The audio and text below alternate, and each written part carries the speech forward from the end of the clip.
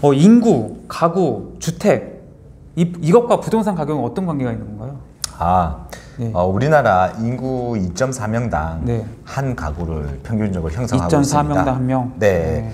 그래서 인구가 증가하면 가구 수도 당연히 증가하고 가구 수가 증가하면 이제 부동산 가격은 당연히 아, 오르겠죠. 네, 네, 네. 그러다가 이제 공급이 발생되면 또 조정을 받고 음. 또 이제 다시 또 시간이 지나면 공급이 멈춰서 부동산 네. 가격이 또 오르고 음. 사실 이런 것들이 이제 반복이 된다고 보시면 됩니다. 아, 그러면은 이제 뭐 인구 절벽, 뭐 네. 인구 뭐 지방 소멸 네. 이렇게 나오면서 고령화도 얘기 나오고 네. 뭐 인구 점점 감소한다는 얘기 나오고 있잖아요. 네. 그럼 앞으로 뭐 단기적인 측면 봤을 때 부동산 가격은 하락할 가능성이 높아지는 건가요? 어, 그렇지 않습니다. 네. 어, 일단 이제 2020년도부터 네. 인구는 줄어들기 시작했고요. 최초로 들었, 줄었습니다. 그리고 2040년도부터는 가구 수도 줄어들 겁니다. 음, 앞으로. 네. 그래서 뭐 물론 이제 2040년도까지는 이제 가구 수가 늘어나기 때문에 네, 이제 네. 방어는 될 테지만 네.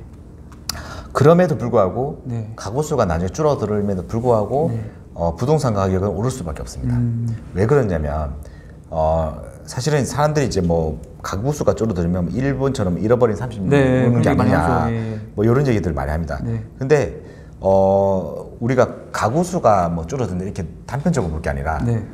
경제라는 측면에서 봤을 때 네. 경제는 끊임없는 성장을 하게 돼 있습니다. 음. 어, 사실 요 얘기를 저도 이제 이 궁금해서 네. 이게, 이게 파고 파고 파고 파고 네. 조사를 한 건데 네. 어, 좀 이게 얘기가 좀 길어질 수 네, 있는데 네.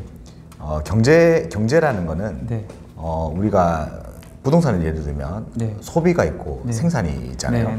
그랬을 때 어, 생산량은 많아졌다가 줄어들다가 하지만 그 소비라는 것은 줄어들지가 않습니다.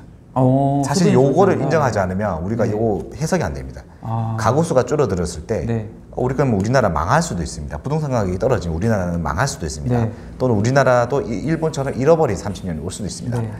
자 그렇게 저는 안 된다고 보는 측면이고 음. 그 이유가 뭐냐면 네.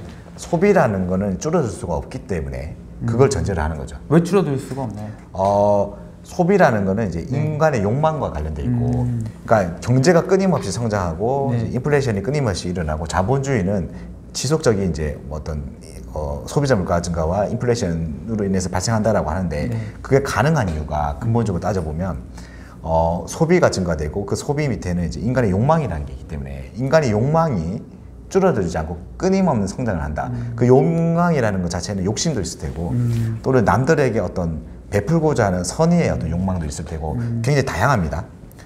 그 다양한 어떤 그런 인간의 욕망들에 의해서 또 어떤 창조적인 부분들, 창조하고자 하는 욕구들, 네. 나누고자 하는 욕구들, 뭔가 생산하고자 하는 욕구들, 또 효율적으로 만들고자 하는 욕구들, 또 남들보다 더 가지고자 하는 욕구들, 또 남들보다 더 마- 베풀고자 하는 욕구들, 이런 모든 인간의 어떤 욕구들이 이제 결합이 돼가지고 네. 내 어제보다 더 높은 욕망을 우리가 가지지 않으면 음. 저는 사람은 죽는다고 생각합니다.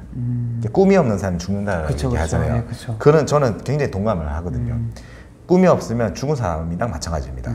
뭐 이- 우리가 그, 그 외모 외형적으로 봤을 때는 어렸을 때 성장을 하다가 성장이 멈추고 죽잖아요. 네네. 마찬가지 우리의 생각도 성장을 하다가 성장이 멈추는 순간 죽습니다. 음. 그래서 어제보다 오늘은 더 성장해야 되고 오늘보다는 내일이 더 성장해야 되고 네 네. 자 그리고 우리가 만약에 우리 몸뚱아리가 그 어떤 물리적인 한계로 인해서 지속적인 성장을 못 하잖아요. 당연히 100살 되면 죽으니까 누구나 인간은 한 번씩 죽으니 저 철학적인 얘기를 가는데 네.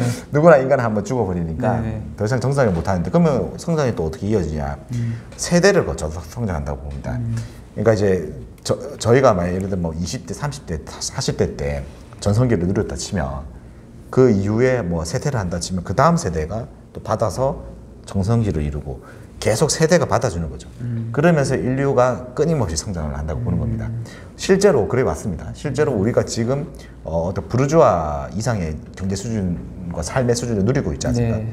이런 부분들이 과거에는 지금 무슨 이게 핸드폰이 나와라고 생각했고 말도 안 되는 현상들이 지금 발생이 되고 있는데 지- 지금 이러죠.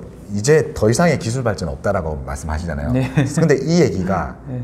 10년 전에도 그렇고 음. 20년 전에도 그렇고 음. 사실은 더 이상의 기술 발전이 없다라는 어떤 성장이 멈출 거다라는 음. 얘기는 누구 얘기냐면 내 기준입니다. 음. 그 사람의 성장이 멈췄기 때문에 본인 기준에서 성장이 멈췄다라고 얘기하지만 어, 지금 현재 상황들을 받아들이는 다음 세대들은 음. 이 상황이 기본인 거죠. 네. 이 어, 그러니까 과거에 우리가 못 살았던 상태에서 이만큼 기적적으로 성장했던 그 과정을 보는 게 아니라 지금 현 상황이 기본입니다. 그 기본인 상황에서 여기서 또 새로운 걸 끌어올리는 거죠. 성장을 하는 거죠. 그러면 그 다음 세대는 우리가 상상할 수 없는 그런 어떤 시야를 가지고 생각을 가지고 성장을 이뤄내는 거죠. 그래서 그 어떤 이제 어르, 어르신들은 이제 나의 한계를 인정하고 그 밑에 사람들한테 물려주는 그쵸, 그쵸. 그 굉장히 겸손하신 분들이 많죠. 이런 원리들을 어느 정도 이제 이해하신 분이라고 보는 거고요. 어, 실제로 어, 만약 이게 되지 않는다면 인류는 망할 겁니다.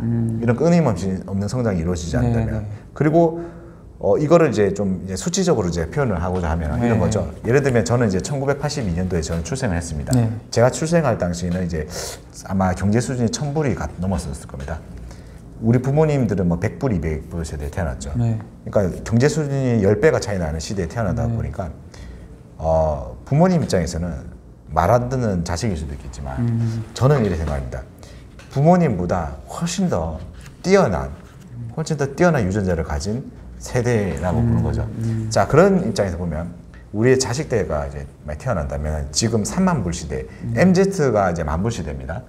만불 시대에 이제 내가 하고 싶은 거 다 하고 싶 태어날 때부터 음. 하고 싶은 거 다 하고 태어나 할 수 있는 그런 시대에 처음부터 살았던 세대가 지금 어른이 된 겁니다. 음. 그게 MZ 시대인데 그 만불인데 지금 태어나는 사람들은 태어날 때부터 선진국인 우리나라에서 자라는 거죠. 그렇죠, 그렇죠. 3만 불인 거죠. 그렇죠. 어 솔직히 얘기해서 어, 부모님들 저 그리고 저의 자식대들 네. 봤을 때 저는 저희 자식대에 있는 사람들이 훨씬 더 수준이 뛰어나다고 생각합니다. 음. 저는 저희 자식대 사람들하고 비교했을 때 네. 수준 차가 너무 나- 많이 나서 네. 이분들하고 저희가 상대를 할 수가 없는 거죠. 음. 그 자식대 수준 차이 너무 많이 나는 거죠. 그래서 훨씬 더 뛰어난 의식 수준을 가진 세대입니다 밑에는. 음. 근데 어른들이 밑에 사람들한테 잔소리를 하는 거는 어찌 보면 내 기준인 거죠. 음. 나의 그 한계성에서 멈춰버린 성장이 멈춰버린 시각으로 밑에를 바라보니까 좀 성- 그게 잘못됐다고 생각해요. 음. 자 그런 측면에서 네. 경제는 끊임없이 성장을 할 수밖에 없고 부동산도 끊임없는 성장을 할 수밖에 없는데 그럼 어떻게 성장할 것인가 네. 이렇게 생각할 수도 있죠. 가구 수가 줄어들면 네. 한 가구가 이제는 두 개의 집을 거주할 수도 있는 거죠. 그렇죠, 그렇죠. 예, 하나는 나의 본집, 네. 하나는 세컨드 하우스, 네, 그쵸. 또는 별장, 음. 또는 또 시간이 지나면 한 가구가 세 개의 집을 투자가 아니라 거주의 용도로 세 개의 집을 쓸 수 있는 네, 네. 하나는 나의 본집, 하나는 여행 갈 때 쓰는 집, 하나는 이제 손님 왔을 때 손님들 재우는 집 네, 네. 이렇게 될 수도 있는 거죠. 뭐 그런 식으로 가다 보면은 충분히 질적인 성장을 위해서 음. 끊임없는 이제 부동산 가격은 수, 경제 성장을 기반한 음. 끊임없는 부동산 성장이 일어날 수밖에 없습니다. 실제로 지금 이미 저기 어, 강남이나 소득 수준이 높은 세대에서는 네. 어, 세대가 아니고 계층이죠. 높은 계층에서는 이제 어, 양평이라든지 네, 네. 뭐 제주도에 별장이 하나씩 있잖아요. 네. 뭐 그런 어떤 소득 그 상위 1%의 생활들이 점차 10% 나중 시간이 지나면 상위 1%의 생활이 10%의 생활이 되고 시간이 지나면 10%의 생활이 그냥 일반 평민들의 생활이 되는 거죠. 아, 평민이라는 표현이 좀 그런가요? 일반인들의 생활이 네. 되는 거죠. 그런 식으로 계속해서 발전을 하고 개발 어, 그리고 이제 요거는 이제 어떤 성장적인 관점에서 제가 본 거고 네, 네. 자 이거 외에도 네. 또 하나 더 희망적인 거는 네. 전 세계 인구가 지금 77억 명인데 네. 어 2040년이고 50년 정도 되면 100억 명까지 성장. 어, 네, 네. 전 세계가 이어져 경제가 네, 이어져 네. 있잖아요. 네. 그래서 양적인 성장도 지금 사실 일어나고 있습니다. 음. 우리나라를 우리나라로만 볼 게 아닙니다. 삼성도 이미 음. 외국 지분이 많죠. 어. 그런 측면에서 뭐 더 이상 뭐 이게 음, 나쁘게 생각할 이유가 없습니다. 음. 그 가구 수가 줄어들어서 부동산 네. 가격이 떨어질 가능성은 저는 이제 어, 1%도 안 된다고 봅니다. 아. 아무리 생각 그럼 이제 경제 성장이 이제 안 되면 떨어진다고 보시는 건가요?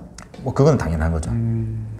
그럼 가구 수를 보는 거는 뭐 그렇게 큰 의미가 없을 수 있, 겠네요 어, 당장에는 이제 중요한데 네. 사실은 이제 나중에 봤을 때는 결과론적으로 네. 가구가 줄어들어도 네. 한세 한 가구가 두 개의 주택을 거주를 하면서 네. 어 이게 의미가 없겠구나라는 결과론적인 또 결론을 도출하겠죠 나중 되면 음. 지금에야 뭐 가구 수가 증가하니까 네, 네, 네. 아파트 가격이 올랐다 뭐 이렇게 결과론적으로 얘기를 하지만. 사실은 근본적인 거는 경제 성장이 근본인 거죠. 음. 이 결, 저는 어쨌든 이런 것들을 결과론적인 거라고 봅니다. 아, 네, 알겠습니다. 아까 이제 입지 잠시 말씀하셨을 때 이제 보통 사람들은 지하철, 학교 이런 거 보고서 입지 분석을 한다고 하는데 네, 네. 이제 작가님께서는 이제 그런 게 입지 분석이 아니라 아, 네. 산업을 보는 게 입지 분석을 하셨잖아요. 네, 네. 그럼 작가님은 입지 분석을 어떻게 하시나요? 아, 네. 사실 입지라는 거는 이제 어, 산업이라고 말씀드렸는데 이게 좀, 좀 막연할 거예요. 그렇죠, 그렇죠. 왜냐하면 사- 어떤 산업이냐라고 우리가 흔히 얘기를 잘 안 해왔기 때문에 네. 이제 구체적으로 설명을 드려야 될 것 같은데 어 사실은 제가 학군이랑 뭐 일자리 또는 뭐 교통 뭐 이런 거를 이제 보지 말라는 이유가 뭐냐면은 네. 솔직히 말씀드리면 네. 학군이 좋든 안 좋든 일자리가 있든 없든 네. 교통이 좋든 안 좋든 아파트 가격이 다 올랐어요. 음, 네. 그래서 이제 그냥 산업만 있으면은 네. 좋은 산업만 있으면 그 네. 주변에 그냥 다 오른다는 거고요. 음, 그 지하철이 있는 곳은 원래 비쌌고 네. 원래 비싼 상태도 더 오른 거고 음. 지하철 없는 곳은 그만큼 더 저렴한 상태에서 더 오른 거고 네네. 뭐 그런 거기 때문에 어쨌든 어디를 하든 내가 원하는 곳만 구입을 하면 네. 주변에 이제 어떤 괜찮은 일자리만 있다고 하면 네. 산업만 있다고 하면 온다는 건데 네. 그러면 어디가 괜찮은 산업이고 네. 도대체 괜찮은 산업이 뭐냐 네. 뭐 이런 어떤 근본적인 질문이 또 들어가야 될 것 같아요. 네. 네. 그랬을 때 어, 뭐 강남이 좋냐, 강남은 왜 좋냐, 네. 뭐 판교가 좋냐, 판교는 왜 좋냐, 네. 그러면 동탄이 또 좋냐, 뭐 이렇게 또 나올 수가 있을 것 같아요. 네. 뭐 동탄, 뭐 판교가 요즘 떠오르는데 네. 또 요즘에 동탄이 떠오르고 뭐 평택이 떠오르는데 네. 거기가 입지가 더 좋은 거 아니냐, 좀 헷갈리잖아요. 이게. 그랬을 때 어, 어떤 산업이 있느냐가 중요한 것 같아요. 음. 그러니까 어떤 산업이라고 하면 이런 거죠. 이제 강남 같은 경우에는. 어, 모든 산업이 다 있습니다.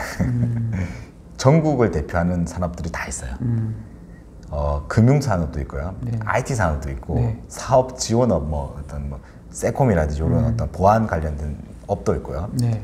어, 그리고 소비 뭐 어떤 어, 수- 뭐 숙박업도 있고 그리고 이제 어, 그 소매업도 있죠. 네. 도소매업도 있고 네. 그 통신업도 있고 IT 통신업, 교육업 이런 부분들이 전국을 대표하는 이제 본사라든지 네. 또는 전국을 대표하는 어떤 본점 같은 것들이 이제 강남에 사실 다 네, 집약돼 있는. 그 전체 집약체라고 보면 되는 거고요. 네. 네, 강남은 모든 산업이 다 있다고 보시면 되는 거고요. 네. 어 그리고 이제 강 그 종로 같은 경우에는 네. 종로 같은 경우에는 어 금융업이 좀 발달되어 있습니다. 특징적인 게 이제 대기업이 제일 많다는 거고 음. 네. 대기업 본- 아 대기업이 많다는 게 아니고 대기업 본사 네. 대기업 본사가 전체 대기업 예를 들면 1등부터 100등까지 매겼으면 절반이 거의 뭐 종로에 있다시피 음. 합니다. 왜냐하면 종로가 우리나라의 어, 도심의 첫 출발지였고 그쵸, 그쵸. 그렇다 보니까 본사가 아예 거기 처음부터 거기 만들어지다 보니까 그냥 거기서 형성된 본사가 굳이 뭐 다른 데 옮길 이유가 그쵸. 없는 거죠. 예. 물론 새로운 본사가 생긴다고 하면 강남에 생길 확률이 네. 높습니다. 음. 근데 이미 있었던 곳이기 때문에 그대로 있는 거고 네. 그리고 이제 과거에는 어떤 사채업이라고 해서 네. 돈을 이렇게 명동 사채라고 에... 예, 그래서 명동 지역, 종로 지역에는 사채업들이 발달이 음. 돼서 기업들이 기업할 때 돈을 이제 빌려줬습니다. 네. 실제로 정주영 회장도 사채업자한테 돈을 빌려서 음. 이제 사업을 시작한 거죠. 자 그런 산업, 그런 사채업들의 어떤 금융업이 발달돼 있고 네. 뭐더 성장하지도 않고 그냥 유지가 되고 있습니다. 지금 상태로 네. 성장을 하지 않습니다. 네. 그리고 이제 여의도 같은 경우에는 거기도 여의도도 이제 금융업이 발달되어 있습니다.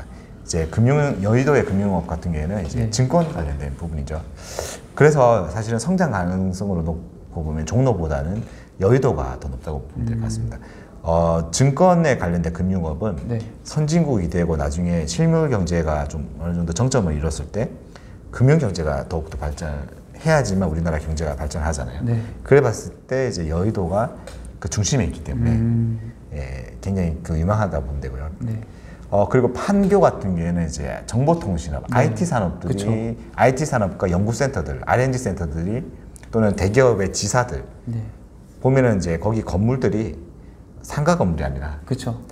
아, 다 보면은 이제 뭐 사옥들 네, 사옥이죠. 예, 대기업들 네. 사옥들이 있는 거죠. 예. 예, 그런 것처럼 이제 IT라든지 R&D 센터의 연구 센터들의 어떤 이제 우리 보면 4차 산업의 핵심이라고 할 수 있는 산업들이 음. 다 집약되어 있는 거고 그럼에도 불구하고 어, 정보통신 IT 산업은 강남이 더 많습니다. 어, 원래는 이제 강남에 있었는데 강남이 산업들이 포화가 되고 그쵸. IT 산업이 워낙 발달을 하다 보니까 네. 판교를 특화해서 옮겼던 그쵸. 거죠. 근데 한 절반 정도를 지금 옮겼는데 네. 한 절반 정도가 이제 남았는데 음. 몰라요. 앞으로 시간이 지나면 이제 판교가 더 IT 산업이 많아질 수도 있는데 음. 지금은 뭐 강남이 더 많거나 비슷하거나 그렇습니다. 그만큼 강남은 사실은 모든 산업이 다 있습니다. 음, 아, 그, 그 판교는 그게 IT 산업이 이제 어, 집약돼 있고 네. 자 방금 제가 말씀드렸던 산업의 특징들이 뭐냐면 네. 전국구 산업입니다. 아, 중국구, 네. 어, 지방에 막 흩어져 있는 사람들이 아닙니다. 네. 그래서 도심에만 있을 수 있는 사람들. 음, 자, 그 네 곳이 도심이라고 말을 하는 이유가 네. 이러한 어떤 전국의 인재들을 끌어모으는 그쵸, 그쵸. 그 산업들이 있고 다른 곳에 다시 또 생길 수가 없어요. 이런 사람들은. 음, 실리콘밸리가 생기면 제2의 실리콘밸리는 무슨 안 나오고 그쵸, 그쵸. 예. 그 지, 지식 집약형 산업들의 특징은 음. 한 곳에 모인다는 특징이 있습니다. 모여서 네트워크를 만들고 그 인재 풀이 만들어져야지 그 산업이 발달합니다. 네. 아. 그렇기 때문에 지금 네 곳의 어떤 도심 같은 경우에는 그런 역할을 하는 사람들이 너무 많기 때문에 네. 앞으로 대체 불가능한 아, 아 그러면은 그 이제 삼성전자 평택 반도체 그리고 네, 네. SK 하이닉스 2000 네. 뭐 그래서 뭐 정부에서 뭐 K 뭐 반도체 벨트를 네, 만들겠다 맞아요. 맞습니다. 뭐 이런 것들은 뭐 잘 안 되는 건가요? 아, 엄밀히 따지면 그쪽은 이제 굉장히 유망한 곳이 맞습니다. 네, 네. 근데 거기의 산업을 엄밀히 따지면 제조업입니다. 네. 예, 공장입니다. 공장. 네, 네. 공장이기 때문에 전국구가 아닙니다. 아 어떤 이제 공장의 특징이 뭐냐면 이제 공간이 필요하죠. 네. 그렇다 보니까 이제 도심에 생길 수가 없고 음. 그러나 이제 도심과는 이제 가까이 네. 있는데 위치하고 싶기 때문에 네. 평택 또는 이제 뭐 용인시 처인구 뭐 네. 이런데 SK는 용인시 처인구, 네. 그 삼성은 이제 평택에 네. 어그 시스템 반도체 공장을 만들어 가지고 K 벨트를 만들어서 네. 이제 반도체 산업을 이제 발전을 시키려는 거고 자그 산업들은 굉장히 유망합니다. 유망하고 앞으로 떠오르는 산업이 맞습니다. 네. 맞는데 한계점 은 뭐냐면 제조업이고 네. 그리고 우리나라를 뭐 대표하는 뭐 전국에 있는 어떤 인재들을 그쪽에 다 끌어모으는 뭐 그런 산업들은 아닙니다. 음. 예. 2차, 2차 산업인 거죠. 아. 2차 물론 3차 산업 성격도 있지만 2차 산업입니다. 그래서 그 뭐 폭발성 이렇게 영향력에는 한계가 있을 수밖에 없다. 한계는 있습니다. 그렇지만 한계가 있음에도 불구하고 네. 그 성장세가 굉장히 세기 때문에 네. 어, 지금 현재로서는 폭발적입니다. 음. 폭발적이지만 이제 도심을 능가할 수가 없다는 거죠. 아. 그러니까 도심과는 구별해서 볼 필요가 있습니다. 도심은 아예 그냥 대체 불가하는 곳들이고 음. 그 이후에 이제 성장하는 산업들은 아. 공장들이 생기는 산업들인 네네. 거죠. 과거에 보면 이제 울산이나 창원 공장들이 생겼잖아요. 네. 그러다가 그 산업들이 어느 정도 정점을 딱 이루고 나니까 멈춰버렸죠. 아. 마찬가지입니다. 평택이라는 곳도 그렇습니다. 동탄, 평택, 뭐 용인천 인구 다 똑같습니다. 근데 이- 네. 도시마다 다르죠. 도시는 끊임없이 성장. 아, 그러니까 이제 뭐 종로나 강남은 뭐 네. 제2의 종로, 제 강남은 복제가 불가능하고 네, 다른 거제 생길 수가 없는데 제도 네. 불가합니다. 근데 이제 평택은 제2의 네. 평택이 또 만들어질 수 있다. 뭐 이런 그런 말씀이잖아요. 그렇죠 그런 산업들이 아. 만약 예를 들어 반 시스템 반도체가 아니라 네. 뭐또 어떤 삼성에서 뭐 또 다른 걸 한다 네, 시스템 반도체가 포화가 돼서 네. 다른 걸 한다 하면은 이제 시스템 반도체의 정점을 이루고 또, 음. 또 다른 도시가 생기겠죠 근데 지금 시기상 이 시스템 반도체의 어떤 초기 단계이기 때문에 네, 네. 굉장히 파급력이 있는 건 사실입니다 맞습니다. 그리고 이제 어 그것도 있습니다. 이제 뭐 동, 동탄도 제조업의 도시인데 우리나라에서 제조업이 가장 많은 도시가 어디냐라고 하면 화성시입니다. 어. 화성시는 서울 출퇴근율이 5%를 넘지 않습니다. 오. 그리고 평택은 서울 출퇴근율이 1%를 넘지 어. 않습니다. 그러니까 그런 곳들은 네. 어, 서울의 위성 도시가 아니라 자체 제조업으로 돌아가는 자급자족 도시. 네, 자급자족 도시입니다. 다만 수도권에 가깝기 때문에 좀 더 이제 접근, 도심 접근성이 접근성이 있다라는 이점이 있는 거고 그리고 어 사람 지하철을 많이 이용한다고 네. 생각하시잖아요. 네. 서울은 자가용보다 지하철 어 자가용 이용률 출퇴근할 때 자가용으로 가는 사람이 있고 걸어서 가는 사람이 있고 지하철을 타고 가는 네. 사람이 있는데 서울은 뭐가 제일 많을까요? 뭐 다 많지 않나요? 뭐 지하- 버스도 있고 네. 버스 그러니까 버스 걸어서 네. 지하철 자가용 또는 복합 막 차가 제일 많지 않나요, 그래도? 자동차가 제일 많습니다. 그렇죠. 네. 사람들이 지하철을 많이 탄, 탄다고 생각하는데 자동차가 제일 많습니다. 네. 어그 자동차랑 지하철 비율이랑 거의 비슷합니다. 아. 거의 동률인데 네. 근소한 차이로 자동차가 앞서고 음. 시간이 지나면 네. 자동차가 더 많아질 겁니다. 어, 왜 그렇죠? 왜냐하면 이제 경제가 발전하면 발전할수록 네. 자동차를 타지 지하철을 타지는 않죠. 그렇죠. 그거 그 원리를 거스를 수는 없습니다. 음. 그 원리를 이제 거스르려고 하기 때문에 복지 차원에서 교통 문제를 해결하려고 그 원리를 거스르려고 하기 때문에 음. 지하철 산업은 지원 산업이 될 수밖에 없습니다. 적자가 남에도 불구하고 지원하는 산업이죠. 음. 왜냐하면 사람들의 어떤 욕구의 흐름에서 거슬러지는 부분이기 네. 때문에. 자, 그리고 경기도 같은 경우에는 네. 자동차가 압도적으로 많습니다. 음. 지하철이 네. 5등입니다. 지하철이 잘 되어, 되어 있지도 않고 사실. 네, 네, 맞습니다. 실제로 경기도는 안 그렇습니다. 그래서 경기도는 예를 들면 그렇죠. 동탄 근처에 삼성전자가 있긴 합니다만 네네. 현대자동차는 저기 30분 떨어진 곳에 있습니다. 음, 그럼에도 불구하고 자동차를 출퇴근하기 때문에 네. 동탄시도 왔다 갔다 하는 거죠. 음, 꼭 그러니까 지하철역 앞에 있어야 된다. 이건 아닙니다. 아, 네. 특히 또 지방을 가서 더 그렇다. 네, 지방은 더 그렇고 음, 맞습니다. 알겠습니다. 끝으로 이제 구독자분들에게 해주고 싶은 말 하면 좋을 것 같습니다. 부동산 저도 이제 부동산 투자하면서 느끼는 건데 네. 그래도 좀 우리가 재밌고 부동산 투자를 재밌고 네. 즐겁게 해서 좀 행복해지셨으면 좋겠습니다. 음. 어, 뭐 갑자기 부동산 투자하다가 무슨 행복이 나오니까 또 매칭이 안 될 수도 있는데. 네. 아, 행복하려고 투자하는 거니까요, 우리. 예, 맞습니다. 이 부동산 투자를 또 하다 보면 네. 어, 우리가 돈을 너무 많이 벌어서 좀 행복을 놓치는 경우가 있는데 음. 또 제가 최근에 이제 꼬마 빌딩 건축이라는 강의를 좀 하고 있습니다. 네, 네. 자, 그 강의에서 그 건축이라는 단어를 붙였더니 강의 오시는 분들이 보통 분들이 아닙니다. 네. 음. 어떤 분은 막 아파트 50채 가지신 와, 분도 있고, 예. 어떤 분은 이제 아파트 100채 가지신 분도 있고, 네. 또막 뭐 재벌가 분도 있고 네. 심상치 않은 분들이 많이 오는- 네. 오는데 어 저는 이제 부동산 투자로 이제 성공하신 뭐 50채, 100채 가지신 분들한테 여쭤봤거든요. 네.